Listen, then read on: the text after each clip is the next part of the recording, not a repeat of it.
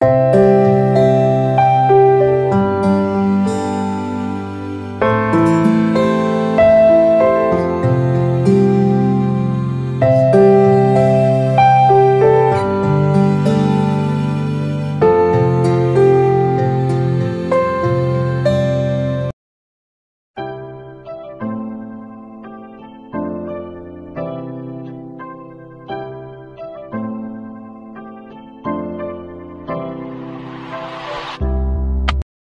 Dear Lady Love TV, Magandang araw. Tunghayan po natin ang pagpapatuloy ng ating kwentong pinamagatang Luha sa likod ng isang babae. Tunghayan po natin ang ikapitong bahagi. Gulat na gulat pa rin ang mukha ni Bernie habang titig na titig sa akin. Binitawan niya ang bata at hinayaan itong gumapang sa sahig na may placemat.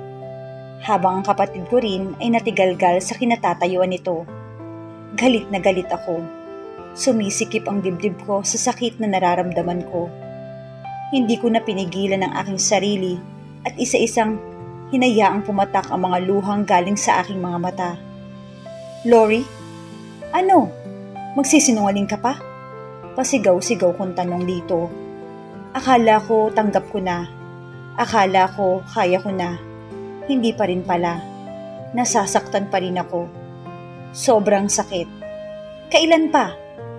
Halos pabulong na lamang ng wika ko. Pinilit kong aking sarili na lumapit sa kanila. Dahan-dahan habang unti-unti ring nadudurog ang aking puso. Lori, hindi. Mali ang iniisip mo. Nahihirapang sabi nito sa akin. Umiyak ang bata sa lapag kaya naman bumaling ang tingin ng dalawa doon. Pinagmasdan ko si Bernie na kinukuha ang supling. Inalo niya ito at isinayaw-sayaw na may patapik-tapik sa likuran nito. Mas lalong nadurog ang aking puso sa nakita. Hindi ko matanggap. Hindi maproseso ng aking utak ang lahat na nangyayari. Ngayong alam mo na, Lori. Pwede ba? Umalis ka na. Agaw pansin ni Lyra. Nilapitan nito si Bernie at kinuha ang bata. Tinatakot mo ang anak ko. Dagdag pa nito. Ang kapal naman ng mukha mo. Singhal ko dito. Lumapit pa ako sa kanila at tinitigan si Bernie sa mga mata. Hindi pa rin ito makakilos sa kinatatayuan at hindi makatingin ng diretsyo sa akin. Ngayon, sabihin mo sa akin na hindi totoo. Tingnan mo ako sa aking mga mata. Sigaw ko pa. Napupuno ng galit ang aking pagkatao. Gusto ko silang saktan. Gusto kong magwala. Napakawalang hiya nila para ganituhin ako. Patawarin mo ako, Lori. Mahinang sabi pa nito. Umiling ako. Paano ko magagawang patawarin ang ginawa niya sa akin? Napaka-imposible mo, Bernie. Bagay kayo ng kapatid ko. Mga traidor. Galit na sigaw ko. Hindi ako traidor, Lori. Alam mong gusto ko na si Bernie noon pa man. Ako ang nauna sa kanya. Umiksena ka lang. Biglang nag-init ang aking ulo. Nilapitan ko si Lyra at kahit nakarga-karga pa niya ang bata ay sinampal ko siya. Umiyak ito sa aking ginawa kaya napuno ng ingay ang buong kabahayan. Lori, ano ginagawa mo? Sigaw nito. Nilapitan kaagad ako ni Bernie at pilit pinalalayo sa aking kakambal. Nagpumiglas ako kaya isang sampal ang iginawad niya sa akin. Natigalgal ako ng ilang sandali na lumipas bago ako nakahuma. Hindi makapaniwalang tiningnan ko si Bernie. Ipagtatanggol mo pa ba ang kabit mo? Baliw ka na. Sigaw ko sa kanya. Binalingan ko rin ang aking kakambal at tinitigan ng mariin. Mula noon, inisip kong ikaw ang sandalan ko sa lahat. Ikaw din pala ang sisira sa akin, Lyra. Mariing sabi ko dito. Lori, mahal kita. Hindi ko sinasadya. Pagsusuma mo pa nito, Hinawakan ni Bernie ang aking kamay ngunit marahas kong binawi yon. Tumalikod ako at pinunasan ang aking mga luha. Hinarap ko ulit si Bernie nang may isang mapait na ngiti sa aking mga labi. Dahan-dahan kong hinubad ang singsing sa aking palasingsingan habang si Bernie naman ay nanlalaki ang mga mata. Umiling siya nang ilahad ko ang singsing sa kanyang harapan. Maghiwalay na tayo. Huling sinabi ko at hinulog ang singsing sa sahig. Nilisan ko ang bahay na iyon ng may mabigat na dibdib. Iniwan ko si Bernie na tigalgal sa aking ginawa habang sinulyapan ko lamang ang aking kapatid. Kung mali man ang aking ginawang pagsuko sa aming pagsasama, ay pipiliin ko na lamang ng ganoon na nga. Hindi ko nakakayanin ang lahat kung patuloy kong itatali ang sarili ko sa isang relasyong wala ng pag-asa. Sinira ni Bernie ang pangako namin sa harap ng altar. Siya mismo ang bumali sa sinumpaan naming pangako. Sinira nila ng kapatid ko ang pangarap kong masaya at kompletong pamilya. Isang napakasakit na realidad na hindi ko alam kung kailan ko matatanggap.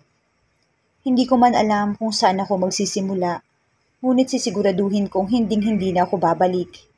Hinding-hindi na ako ulit sasaktan at hindi ko na maaaring payagan ang sarili kong masaktang muli. I will love myself this time. Ako muna bago ang iba. Desidido akong tapusin na ang lahat sa amin ni Bernie, kaya naman ay malakas ang loob kong nagtuloy sa Lirar Mansion. Kahit pagod dahil sa maghapong pagmamaneho, ay hindi nito napigilan ang aking nais. Saktong alas 6 ng gabi nang tuluyan ako makapasok sa loob ng malawak na bakura ng aking biyanan. Ipinarada ko kaagad ang aking sasakyan at agad na bumaba.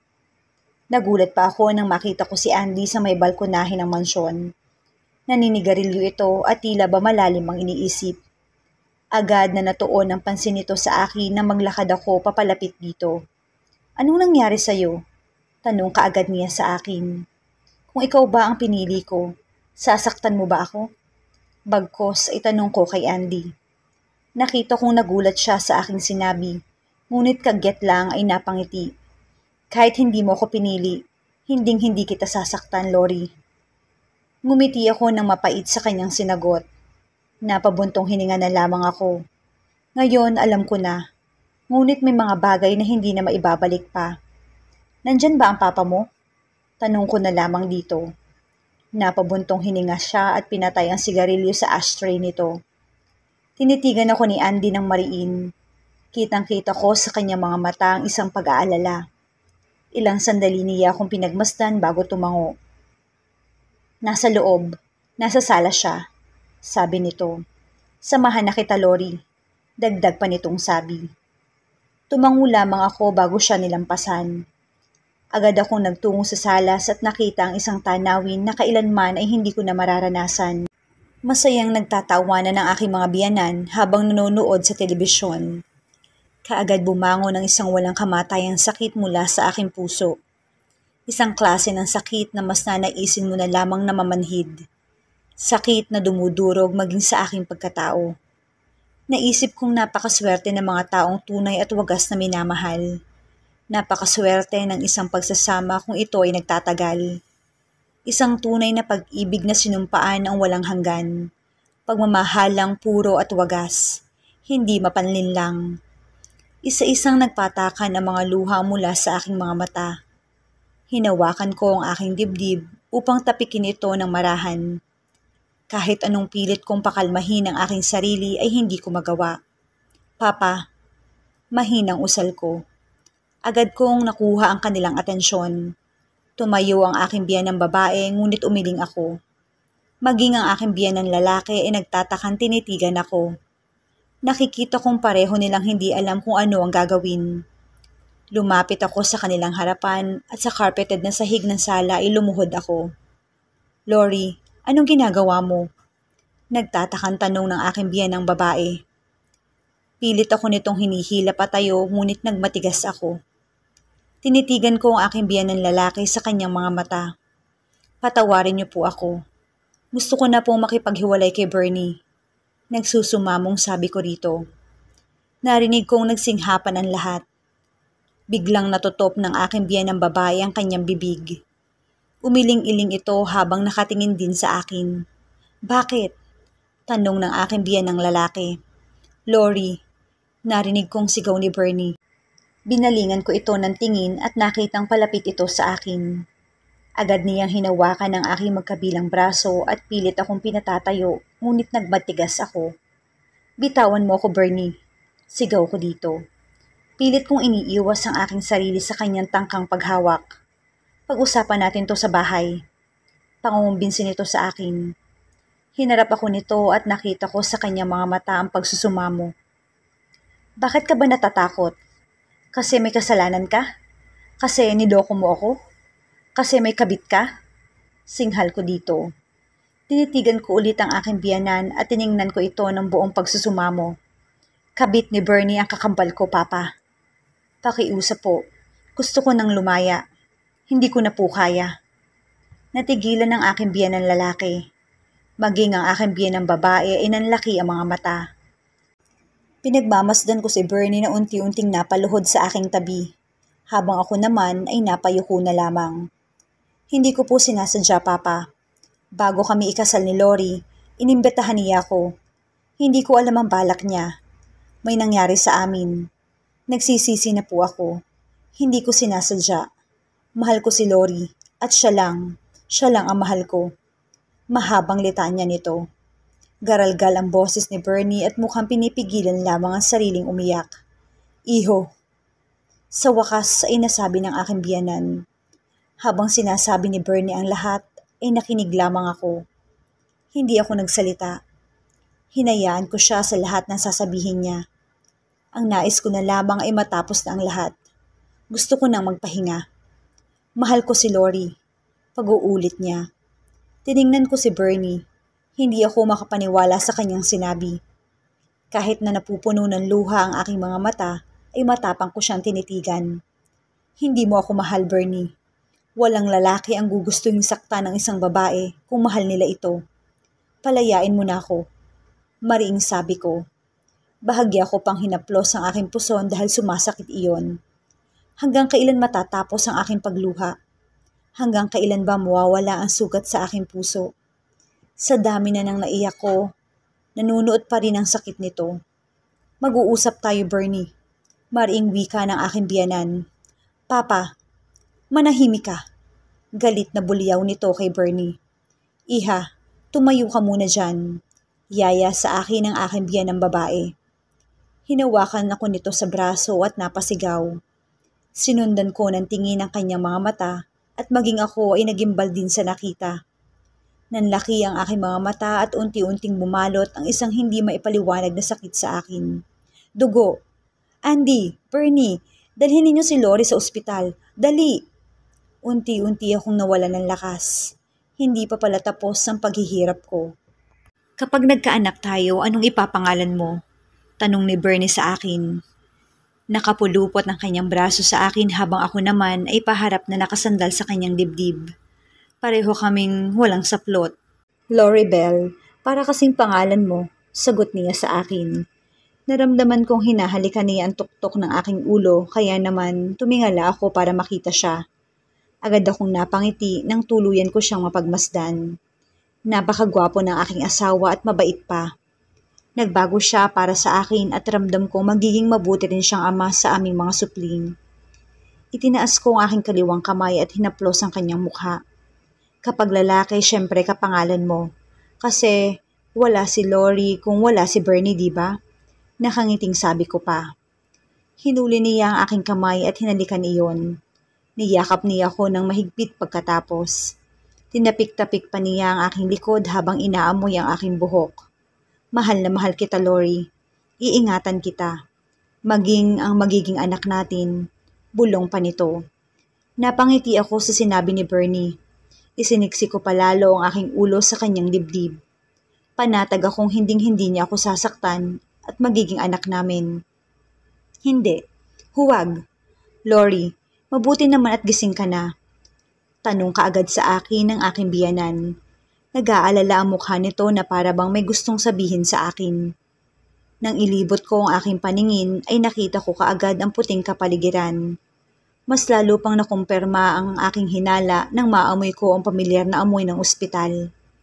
Bumangon ako at isinandal ang aking likod sa headboard ng kama. Mama, ano pong nangyari? Nahihirapan tanong ko dito. Tuyo ang aking lalamunan at hindi ko halos marinig ang aking sariling boses.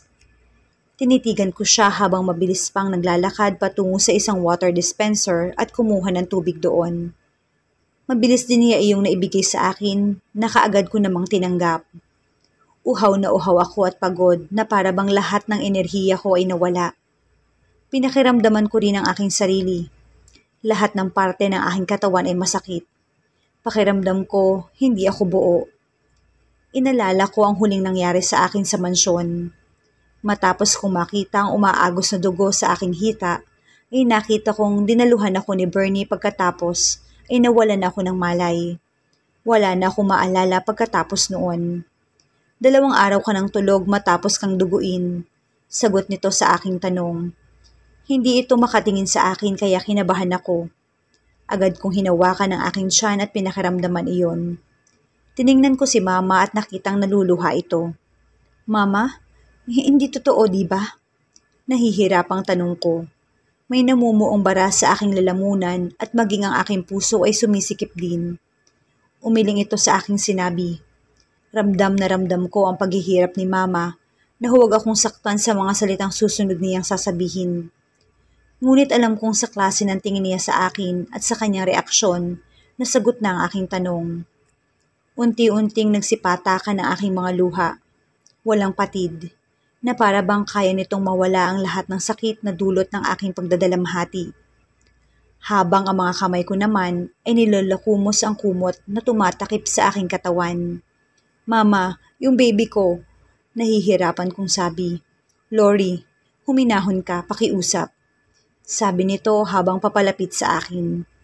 Dinaluhan ka agad ako ni mama at inalo. Ngunit walang nagawa ang aking salita sa aking pagdadalamhati. Napakatanga ko. Paano ko nakalimutang alagaan ang aking sarili? Bakit hindi ko napansin ang malaking pagbabago sa akin? Ganoon na ba kalalim ang sugat na nilikha ni Bernie para pati ang sarili ko ay kalimutan ko na rin? Kasalanan ko Kasalanan ko kung bakit nawala ang anak ko dahil pabaya ako. Sising-sisi ako sa aking sarili. Hindi ko matanggap. May rason ang lahat anak. Magpakatatag ka lang. Malalampasan mo rin ito. Mahinang sabi nito sa akin. Hindi ko alam. Bulong kong napapailing. Patuloy pa rin sa pag-agos ng aking mga luha. Nasa ganoon kaming posisyon nang pumasok si Andy sa silid. May dala itong paper bag sa isang sikat na restaurant sa bayan. Akala ko siya lamang mag-isa ngunit pumasok din si Bernie. Kasunod siya nito. May dala itong bulaklak at nilapag agad iyon sa katabing mesa ng aking kinahihiga ang kama. Mama, bati ng dalawa habang isa-isang hinahalikan ng ina bilang pagbati. Nakita kong napangiti ang aking biyanan sa ginawa ng mga ito. Pagkatapos ay ako naman ang binalingan ni Bernie. Agad na bumangis ang tingin ko sa kanya. Anong ginagawa mo dito? Umalis ka dito, Bernie. Hindi kita kailangan. Galit na pagtataboy ko dito. Lori, pagsusumamo pa nito. Umiling ako. Mabangis ko siyang tiningnan. Gusto ko siyang pagsasampalin ng malakas. Gusto ko siyang murahin ng murahin. Si Bernie ang totoong halimbawa ng isang asawang mapanlinlang. Please, umalis ka na. Sabi ko dito. Tiningnan ko si Andy at nakitang titig na titig ito sa akin. Nagsusumamo ang aking mga mata na sana ay marinig niya ang mga salitang hindi kayang sabihin ng sarili kong bibig. Umalis na muna tayo dito kuya. Sabi nito habang nilalapitan ng kapatid. Tinapik nito ang una sa balikat at inakbayan palabas. Babalik ako, Lori. Bilin pa nito sa akin. Wala ka nang babalikan. Matapang na saad ko dito bago sila tuluyang makalabas ng pintuan. Napabuntong hininga ako pagkatapos.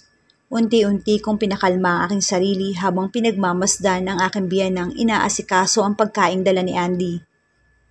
Wala nang karapatan si Bernie sa akin mula nang niloko niya ako kasama ang kapatid ko. Masyado lang ako naging mabait para pagbigyan siya. Ngunit hinding-hindi na ngayon. Ayaw ko na. Sawa na akong umiyak at masaktan. Isang linggo akong nanatili sa ospital. Araw-araw na pabalik-balik si Bernie doon para suyuin at alagaan ako, ngunit naging matigas ako. Patawarin mo na ako, Lori. Dahil sa akin na wala ang anak natin. Narinig kong sabi nito habang inaasikaso ang aking pagkain. Masaya ka na? Wala nang rason para manatili ka sa akin. Maaari mo nang makasama si Lyra at ang anak ninyo. Sagot ko naman dito. Narinig ko siyang napabuntong hininga at tumigil sa paglalagay ng pagkain sa platong naroon. Agad niya akong tinitigan nang may hindi makapaniwalang tingin. Bakit bang tigas mo? Humihingi na ako ng tawad, Lori. Ano pa bang gusto mo? Mariing sabi nito sa akin. Hindi kita inuobliga. Hindi kita kailangan. Tuwing nakikita kita, naaalala ko ang nawala kong anak. Singhal ko dito. Nagulat si Bernie sa aking linawa. Agad siyang nagbaba ng tingin at bagsak ang mga balikat. Binalikan niya ulit ang ginagawa at agad na nilapag malapit sa akin. Pagkatapos ay dumiretso siyang nagtungo sa may pinto.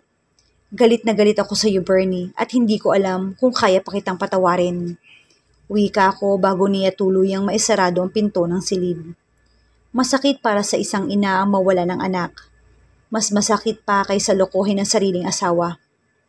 Napakasakit para sa akin ang nangyari sa aking anghel, ngunit dahan-dahan ko itong tinanggap. Marahil ay hindi talaga ito para sa akin at ipinahiram lamang upang mas maging matatag ako.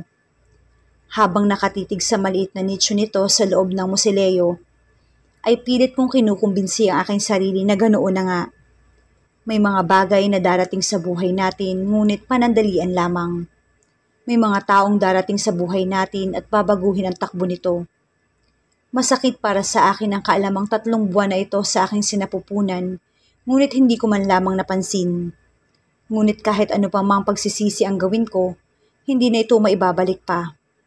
Ni hindi man lamang kita nahawakan.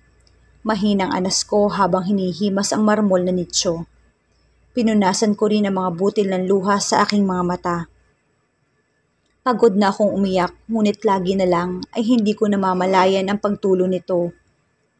Kapag nag-iisa ako ay palagi na lamang ako niyayakap ng kahungkagan. Naghahalo ang sakit sa pagdurusa na para bang walang katapusan. Pasensya na kung iiwan muna kita. Mama needs to find herself too. Nakikita mo ba ako sa heaven, baby? Nalulungkot ka rin ba kapag umiiyak ako? Wika ako sa garalgal na boses. Paulit-ulit na lang ganito. Paulit-ulit na lang na nawawasak ang puso ko. Sana mayroong remote control ang buhay na pwedeng mag-off kung pagod ka na. Nakapaghanda ka na sa lahat, tsaka mo na ito paaandarin. Handa ka na ba? Naghihintay na si Papa sa mansyon. Dali-dali kong pinunasan ang mga luha sa aking mga mata. Nilingon ko si Andy na nasa paanan ng musileo. Tumango ako sa kanya at sinulyapang muli ang kinaroroonan ng aking anak. Nag-alay ako ng maikling panalangin at humiling ako na sana ay gabayan ako ng aking munting anghel. Napahinga ako ng malalim at tuluyang tumayo. Nilapitan ko si Andy at sumabay sa kanya patungo sa mansyon. Habang nasa biyahe ay pareho kaming tahimik ni Andy. Pareho kaming nakikiramdam sa isa't isa. Tanging ang tunog lamang na makina ng sasakyan ang siyang pumapatay sa aming walang hanggang katahimikan. Ilang sandali pa ay pumasok na ang sasakyan nito sa bukana ng mansyon. Natanaw ko na ang magagandang tanawin na labis kong hinahangaan sa loob ng mahabang panahon. Ang matatayog na puno na siyang nagsisilbing lilim ng mga trabahador. Ang malawak na taniman ng mais at tubo at ang taniman ng mga bulaklak na mga gerer Minsan kong pinangarap ang mamuhay sa ganitong kagandang lugar. Ang matulog at magising na ito ang una at huling mapagmamasdan. Ngunit ang lahat ay may hangganan. Dahil ngayon, kailangan ko na itong iwan. Sa pag-alis nga kaya ni Lori ay maiwan na rin at tuluyang mabura ang masama niyang nakaraan. Yan ang ating aabangan bukas sa pagpapatuloy ng ating kwento. Shout out muli sa lahat nating masugid na taga-subaybay. Maraming maraming salamat po sa patuloy na pagsama sa amin sa kwentong ito. Hanggang sa muli, mag-ingat po tayong lahat.